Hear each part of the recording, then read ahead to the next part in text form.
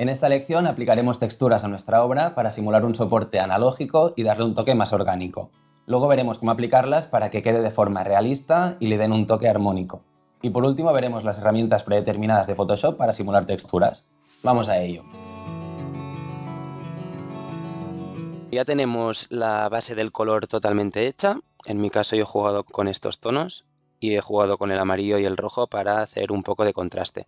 Si os fijáis, mi paleta es la paleta de los colores básicos, amarillo, rojo y azul, aunque luego obviamente pues jugamos un poco con la saturación y la luminosidad de los colores. A esta ilustración lo que le falta es algo que la integre un poquito y la haga menos digital, porque ahora se nota muchísimo que es algo digital y entonces para ello es tan simple como añadirle algunas texturas o alguna textura que simule un lienzo, un papel, que tenga un poco de gramaje como sería el papel de acuarela o algo así. En la lección de la creación de manchas, cuando escaneamos, también comenté que teníamos que escanear algunas texturas de papel. en mi caso tengo estas de aquí, me las voy a arrastrar directamente. Vale, como veis tengo varias texturas escaneadas y algunas descargadas de internet con las que luego le doy un soporte analógico al dibujo. Serían cosas así.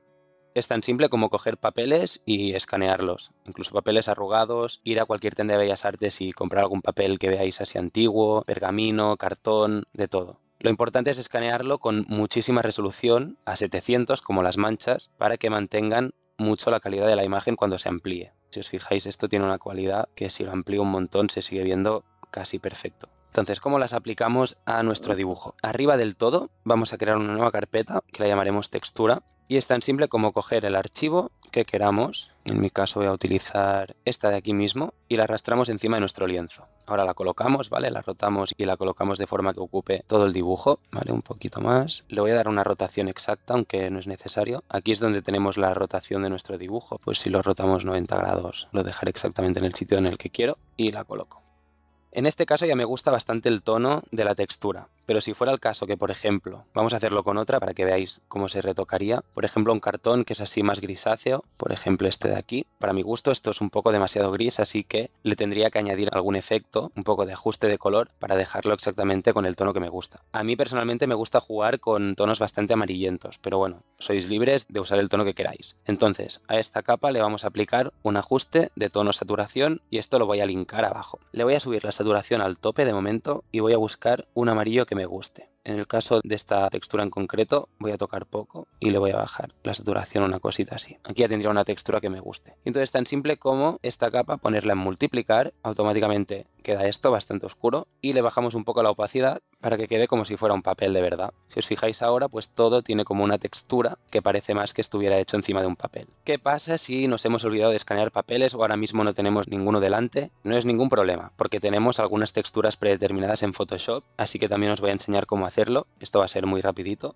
tan simple como crear una capa con el bote de pintura. Le damos un color plano, ¿vale? Bien plano. Y lo tenemos aquí. En los ajustes, aquí vemos el motivo. Pues con el motivo, si os fijáis, hemos creado como una nueva capa. Le damos también una textura. Aquí tenemos diferentes tipos de motivos, superficies artísticas, lienzo, bla, bla, bla, bla, bla, bla, bla. Un poco recomiendo que busquéis y probéis a ver cuál os gusta más. Yo, por ejemplo, me voy a quedar con superficies artísticas, que es la que tenía. Y, pues, por ejemplo, esta de aquí creo que es bastante que simula el papel de acuarela. Y lo que voy a hacer va a ser darle una escala mayor. Si os fijáis, cuanta más escala, más textura crea. Una cosita así que tiene un poquito bastante de ruido. Lo voy a dejar en 450. Le doy a OK. Y tan simple como linkarlo a la de abajo y poner esta en multiplicar y esta en multiplicar también.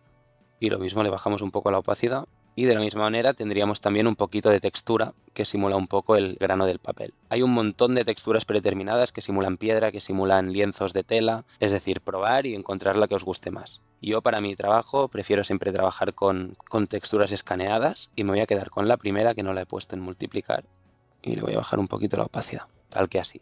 Así que nada, aquí ya tendría la textura aplicada y ahora quedará el último toque que lo veremos en la siguiente lección. Ahora que ya tenemos las texturas aplicadas a nuestra obra, nos vemos en la siguiente lección donde añadiremos algunos filtros que van a acabar de armonizar nuestro retrato.